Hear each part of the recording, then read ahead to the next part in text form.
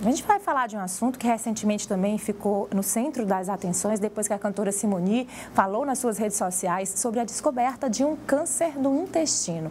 O câncer coloretal é o terceiro que mais acomete mulheres e a detecção precoce facilita a cura e sintomas mais frequentes né, que podem ocorrer são dores abdominais, diarreia, anemia e perda de peso. Mas a gente vai te explicar mais sobre esse assunto. A gente, para isso, está recebendo agora o médico Edson Carvalho, que é titular titular da Sociedade Brasileira de Coloproctologia, também é professor da Universidade Federal do Piauí né, e diretor do Centro de Ensino e Pesquisa do Hospital São Marcos. Doutor Edilson, bem-vindo ao nosso programa. Bom dia, Shirley. É um prazer estar aqui com vocês. Prazer é todo nosso.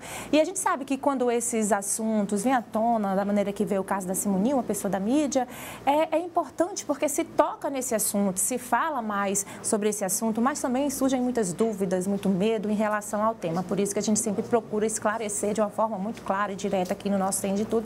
Por isso a gente lhe convidou, doutor. Então a gente começa explicando né, esse tipo de câncer. Ele realmente é o mais comum, um dos mais comuns entre as mulheres. Ele é, é tem chances de curas, né? Como acontece o câncer no intestino? Então, o câncer coloretal é, é um tumor maligno que acontece, que, que acomete o intestino grosso, né? E que nos últimos anos tem aumentado muito a sua incidência. Né? Você falou que é o terceiro. Hoje no Brasil, depois do câncer de mama na mulher e de próstata no homem, é o segundo câncer mais comum, tanto no homem como na mulher. Então, trata-se realmente de um problema é, de, de saúde pública que nós não podemos nos é, é, omitir de conversar e tratar sobre isso. O tema câncer é sempre um tema de muita milindre né, nas conversas, mas é, no momento que tem a oportunidade de nós discutirmos sobre esse, esse assunto, é muito importante, mesmo que tenha uma história na mídia, no caso da, da, da apresentadora. O câncer coloretal é um dos cânceres mais previsíveis e com prevenção bastante é, é, fácil de realizar e com chance de cura em quase 80% quando diagnosticado precocemente.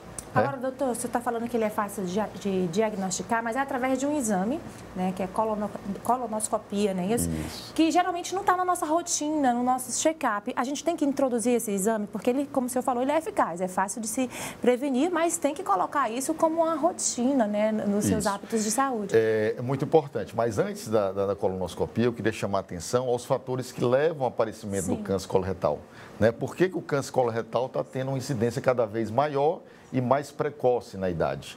Na verdade, o câncer coloretal, como a maioria dos cânceres, eles são de desenvolvimento ambiental.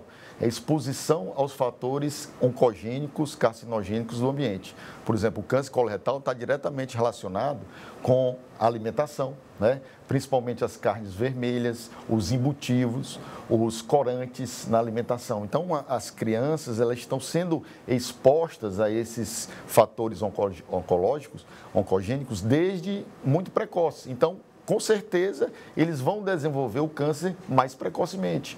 Tá? Antigamente, a Sociedade Brasileira de Coloproctologia tinha como data, é, idade base, 50 anos para a gente começar a fazer a, a, o diagnóstico precoce.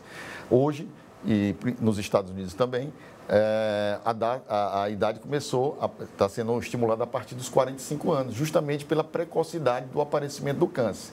Um dos exames é a colonoscopia, que é chamado gold standard, padrão ouro no diagnóstico e na prevenção do câncer coloretal.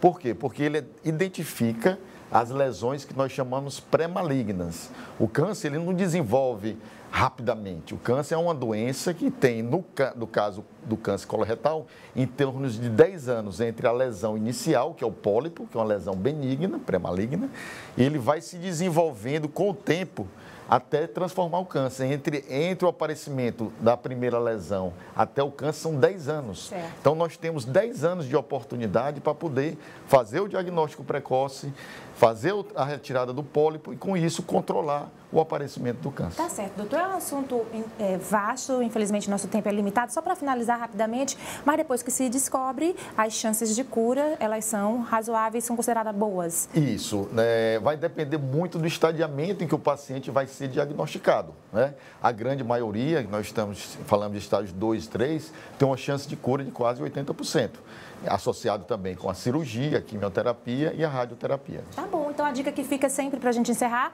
procure um profissional e peça que coloque esse exame na sua rotina e, claro, cuidado com seus hábitos. E né, lembrar que qualquer alteração intestinal não é coisa normal. Qualquer alteração intestinal precisa ser, ter a importância de ser, ter uma atenção na, na na observação disso. Doutor Edilson, a gente agradece profundamente tá? a sua, imensamente a sua participação. Muito obrigada. A casa é sua. Quando a gente tiver mais dúvidas sobre algum assunto relacionado à sua área, a gente chama o senhor de novo. Obrigada agradeço. pela sua participação. Boa semana. Tá aí, gente. A gente sempre trazendo aí um, é, um profissional né, qualificado para atender as suas dúvidas, né, as dúvidas dos nossos telespectadores.